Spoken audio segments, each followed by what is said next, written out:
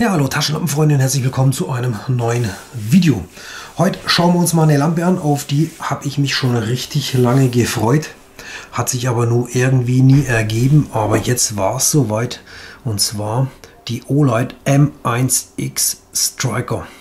Das Modell verfolge ich schon seit die M18 damals gab. Das war so das erste taktische Modell davon. Die wollte ich mir dann immer mal kaufen, aber ich habe sie auf der ganzen Welt nicht mehr gefunden. Habe selbst in Foren mal nach Gebrauchten gefragt, bei Ebay und so, aber M18er war nicht zu finden. Und wenn dann noch irgendwo ein original verpacktes neues Stück war, wurde es zu horrenden Preisen angeboten, was einfach nur utopisch war.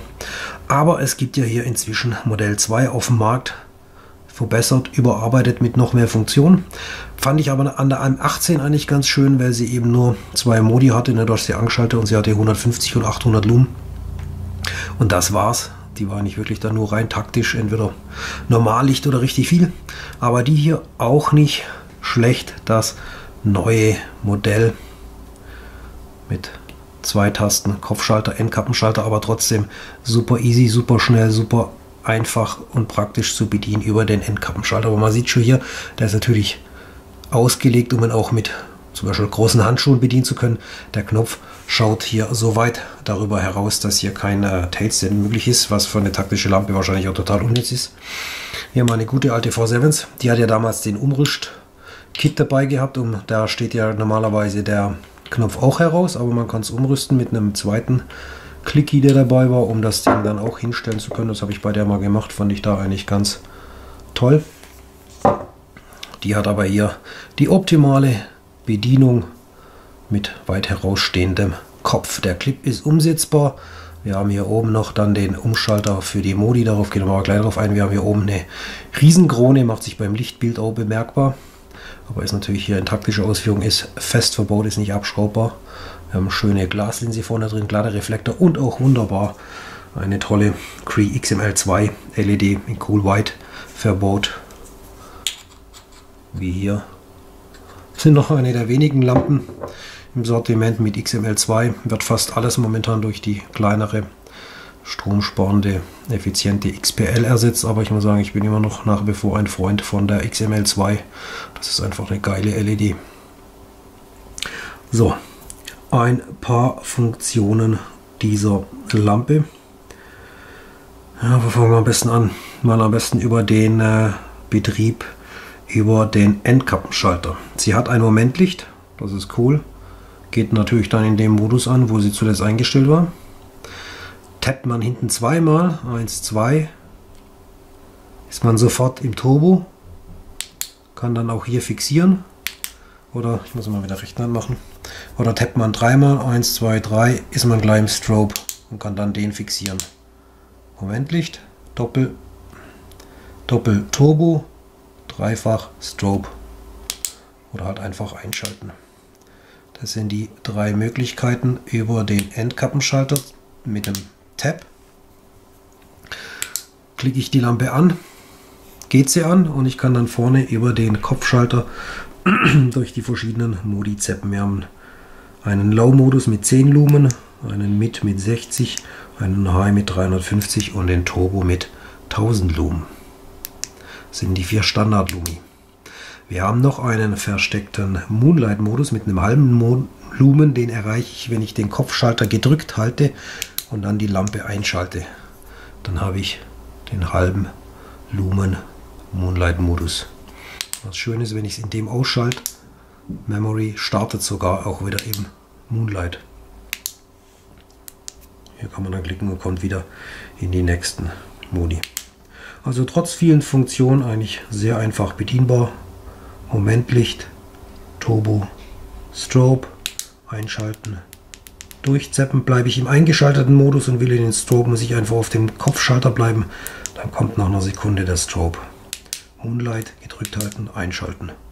Zack, das war's. Eigentlich trotzdem, trotz der vielen Funktionen, sehr einfach zu bedienende Lampe. Schrauben wir sie mal schnell auf. Verarbeitung und Gewinde immer auf super hohem Standard, wie man es nicht anders gewöhnt ist bei OLED. Wir haben vorne wie hinten eine Feder. Die Lampe kann man in zwei Configs kaufen, mit und ohne Batterie. Ohne Batterie bekommt man sie für 60 Euro. Mit Batterie kostet sie, glaube ich, 80. Die war jetzt hier ohne Akku für 59 zerquetschte. Also knapp 60 Euro bekommt man diese Lampe ohne Akku. Wenn man schon einen zu Hause hat, kann man sparen. Ich hatte hier aus meiner V7s, da habe ich einen Doppelsatz von den damalig erhältlichen 3600er. Das waren die stärksten, die sie da je hatten. Die haben halt vorne noch den Pluspol. Den brauche ich halt hier drin in der alten V7s. Das war ja eine der ersten Lampen mit Micro-USB-Ladung. Da hat man extra diese Akkus, die vorne einen zusätzlichen äh, Minuspol außen herum haben zum Laden. Wird hier nicht benötigt, aber ich mag den Akku, weil er halt eine sehr große Kapazität von 3600 mAh hat. Was ebenfalls zum Lieferumfang mit dazu gehört, ist hier dieses Rohr, mit dem ich hier noch zwei CR123 Batterien einsetzen kann. Und dieses Distanzstück gleicht dann so eben den Hohlraum aus, damit die beiden Batterien nicht da drin rumschlackern. Dann sind noch Dichtungsgummis mit dabei und ein sehr gutes Lanyard. Sehr coole Lampe. Mit guter LED und trotzdem einfacher Bedienung, einfach Endkappe und sie startet dank Memory in dem Modus, wo man es gerne hätte. Man sieht hier schon, ne, durch diese starke Krone haben wir hier immer so eine, so eine Blume sozusagen vom Lichtbild her. Daran darf man sich halt nicht stören. Das ist halt einfach mechanisch so bedingt. Es wirft halt diesen Schatten. Wer das nicht mag, der darf nicht zur Striker greifen. So sieht dann ein rundes Lichtbild aus und hier halt die Blume.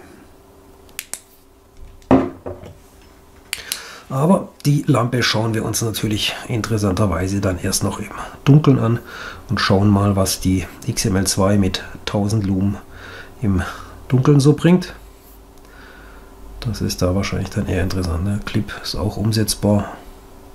Eigentlich eine super tolle taktische Lampe.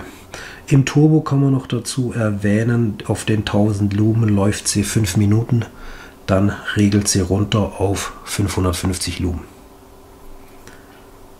Ich denke mal, der High-Modus mit 350 Lumen ist richtig gut, ausreichend genügend Licht, regelt dann auch nicht runter, hat man dann auch kein Wärmeproblem. Also gute Abstufung 10, 60, 350, 1000 oder ein halbes Lumen im Moonlight. Ja, tolle Lampe, gefällt mir richtig gut. M1X Striker Olight. Cooles Teil. Trägt sich auch immer in der Hosentasche. Ist zwar recht lang, aber es geht. Man kann sie führen. Kein Thema. Und man hat eine ordentliche Lampe. Ziemlich robust. Krone. Schützt natürlich auch super gut das Glas. Egal wie die runterfällt oder wo man damit anstößt. Das Glas ist super gut geschützt und man kann es natürlich auch noch als Kubutan einsetzen. Oder ich denke, ja, je nachdem wie stabil das Metall hier oben ist, können es vielleicht auch mit einer Autoscheibe aufnehmen als, naja, müssten wir mal ausprobieren. Keine Ahnung, wie sich da verhalten würde bei einer, um eine Scheibe zu trümmern als sozusagen als Rettungshammer. Schön massives Glas, super zentrierte LED, einfach gute Verarbeitung, wie man es nicht anders gewöhnt ist von Olight. Ja, aber ich würde sagen, genug gequatscht. Wir sehen uns da auf jeden Fall in Teil 2, denn da interessiert mich natürlich auch brennt. Im Stockdunkelwald, 100 Meter, 1000 Lumen, Olight. Das müssen wir uns noch genau anschauen. Sage ich hier schon mal Danke fürs Reinsehen, bewerten, kommentieren. Ciao, bis zum nächsten Mal, euer Hebeli. Macht's gut. Bye, bye.